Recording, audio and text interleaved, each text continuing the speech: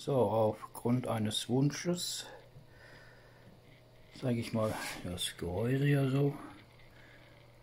Es geht ja eigentlich nicht zu, weil es ja die Grafikkarte eine 2,5 Breite hat. Also hier unten sind alle drin. Ich habe ja auch nur eine Schraube. So. Mal kurz aufmachen.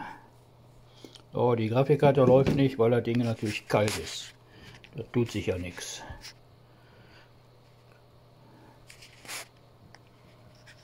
Und da sieht man irgendwo die Wasserkühlung.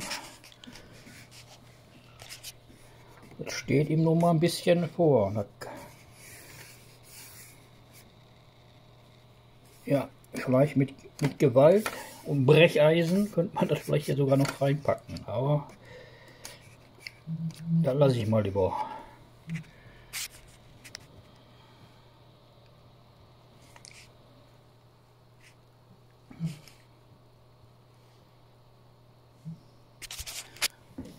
So, wieder drauf machen. Er hat ja hier diese, diese Nasen.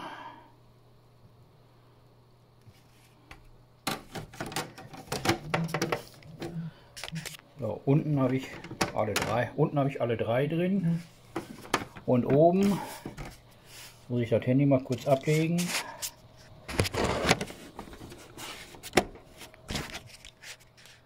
Und oben habe ich zwei drin. Das einzige, was eben stört, ist das da. Aber wie gesagt, wenn man ja, ein bisschen rumfummelt, vielleicht kriegt man dann noch ganz reingerückt, aber ich wollte ja nichts kaputt machen.